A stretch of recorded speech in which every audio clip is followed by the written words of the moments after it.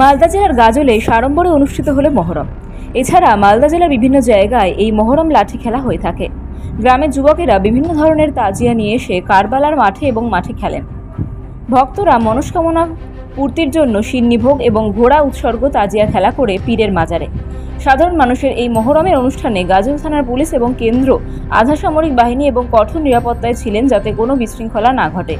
মহরম কমিটির কারবালা মহরম কমিটির পরিচালক প্রতিবছর মহরম খেলার তাই শুরু হওয়া এই জায়গাতে মহরম, তাজিয়া, লাঠি খেলা সহ বিভিন্ন খেলা দেখতে প্রতি বছর দূর দূরান্ত থেকে বহু মানুষজন সেখানে ভিড় করে থাকেন। সরকারপাড়া থেকে রাঙাভিটা গেলাম।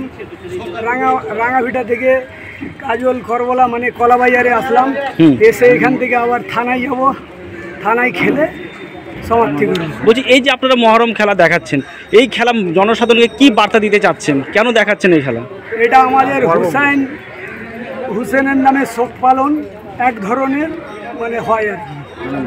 হ্যাঁ এটা আপনি যেমন ভাজি মনে করেন তার বাৎসরিক নাম জাগিয়ে দেওয়া এটাই আমাদের উদ্দেশ্য। আর কোনো উদ্দেশ্য নেই। বলছেন। আমি কমিটির মতুয়ালি। আপনার নাম? কমিটি। মোহাম্মদ সারাহ। মালদা থেকে Balai পোদ্দারের report U Bangla TV. U Bangla TV হৃদয় ছুঁয়ে যায়।